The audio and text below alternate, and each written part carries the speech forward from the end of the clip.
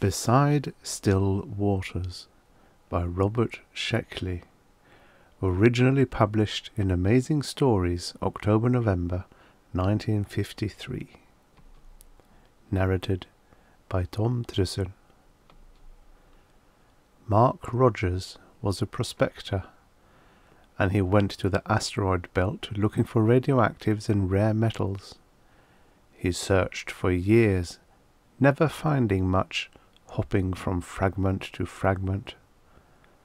After a time, he settled on a slab of rock half a mile thick. Rogers had been born old, and he didn't age much past a point. His face was white with the pallor of space, and his hands shook a little. He called his slab of rock Martha, after no girl he had ever known. He made a little strike, enough to equip Martha with an air pump and a shack, a few tons of dirt, and some water tanks, and a robot.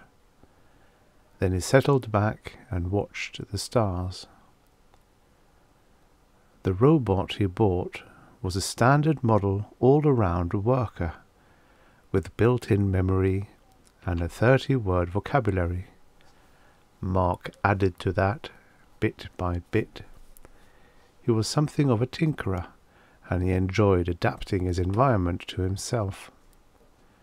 At first, all the robot could say was, Yes, sir, and No, sir. He could state simple problems. The air pump is labouring, sir. The corn is budding, sir. He could perform a satisfactory salutation. Good morning, sir. Mark changed that. He eliminated the sirs from the robot's vocabulary. Equality was a rule on Mark's hunk of rock. Then he dubbed the robot Charles, after a father he had never known. As the years passed, the air pump began to labour a little as it converted the oxygen in the planetoid's rock into a breathable atmosphere. The air seeped into space, and the pump worked a little harder, supplying more. The crops continued to grow on the tamed black dirt of the planetoid. Looking up, Mark could see the sheer blackness of the river of space, the floating points of the stars. Around him, under him, overhead, masses of rock drifted, and sometimes the starlight glinted from their black sides. Occasionally, Mark caught a glimpse of Mars or Jupiter. Once he thought he saw Earth. Mark began to tape new responses into Charles. He added simple responses to cue words. When he said, How does it look? Charles would answer, Oh, pretty good, I guess. At first the answers were what Mark had been answering himself in the long dialogue held over the years.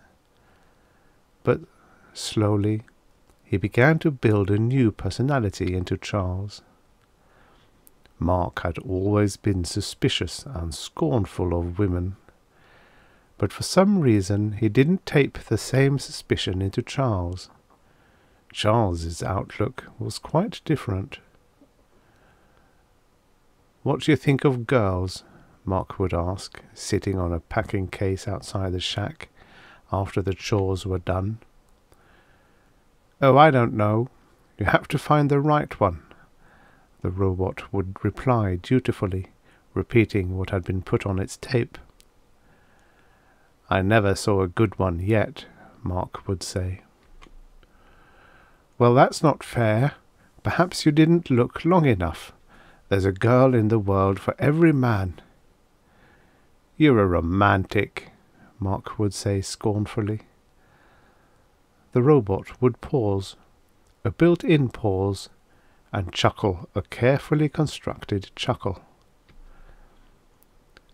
I dreamed of a girl named Martha once, Charles would say. Maybe if I would have looked, I would have found her. And then it would be bedtime. Or perhaps Mark would want more conversation. What do you think of girls? he would ask again, and the discussion would follow its same course. Charles grew old. His limbs lost their flexibility, and some of his wiring started to corrode. Mark would spend hours keeping the robot in repair. You're getting rusty, he would cackle. You're not so young yourself, Charles would reply. He had an answer for almost everything. Nothing involved, but an answer. It was always night on Martha, but Mark broke up his time into mornings, afternoons, and evenings. Their life followed a simple routine. Breakfast from vegetables and Mark's canned store. Then the robot would work in the fields, and the plants grew used to his touch.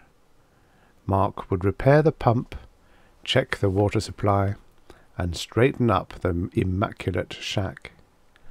Lunch, and the robot's chores were usually finished. The two would sit on the packing case and watch the stars. They would talk until supper, and sometimes late into the endless night. In time, Mark built more complicated conversations into Charles.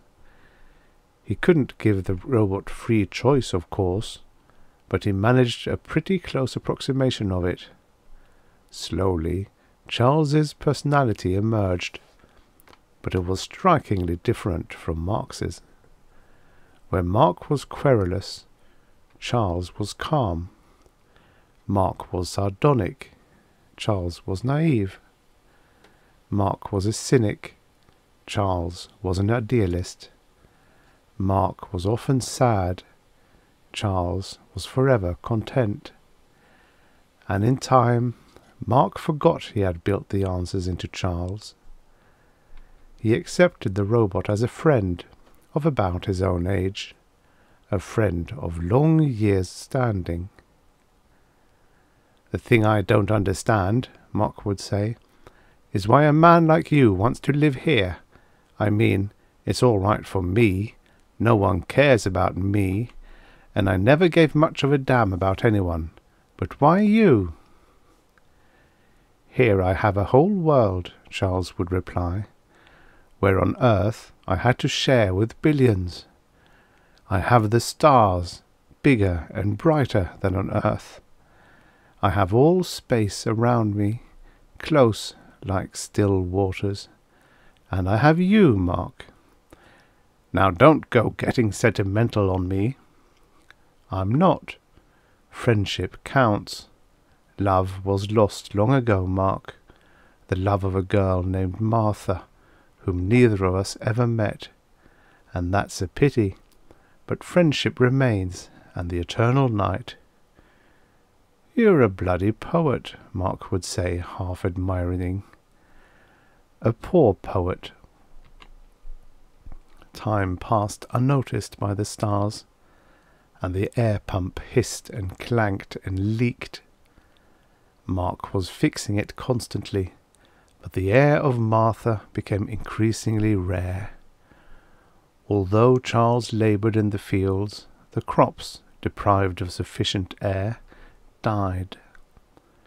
Mark was tired now, and barely able to crawl around, even without the grip of gravity. He stayed in his bunk most of the time. Charles fed him as best he could, moving on rusting, creeping limbs. What do you think of girls? I never saw a good one yet. Well, that's not fair. Mark was too tired to see the end coming and Charles wasn't interested. But the end was on its way. The air pump threatened to give out momentarily. There hadn't been any food for days. But why you? gasping in the escaping air, strangling. Here I have a whole world. Don't get sentimental. And the love of a girl named Martha. From his bunk, Mark saw the stars for the last time. Big, bigger than ever, endlessly floating in the still waters of space. The stars, Mark said. Yes? The sun shall shine as now. A bloody poet, a poor poet. And girls? I dreamed of a girl named Martha once. Maybe if... What do you think of girls and stars and earth? And it was bedtime, this time forever. Charles stood beside the body of his friend. He felt for a pulse once, and allowed the withered hand to fall. He walked to a corner of the shack and turned off the tired air pump. The tape that Mark had prepared had a few cracked inches left to run. I hope he finds his Martha, the robot croaked, and then the tape broke. His rusted limbs would not bend, and he stood frozen, staring back at the naked stars. Then he bowed his head. The Lord is my shepherd, Charles said. I shall not want. He maketh me to lie down in green pastures. He leadeth me